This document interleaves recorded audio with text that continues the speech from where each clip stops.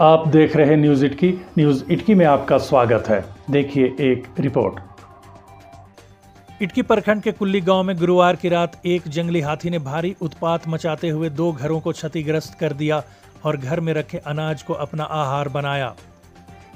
जानकारी के मुताबिक हाथी जंगल से निकलकर डहू टोली पहुँचा और वासुदेव उरांव के घर को क्षतिग्रस्त कर दिया।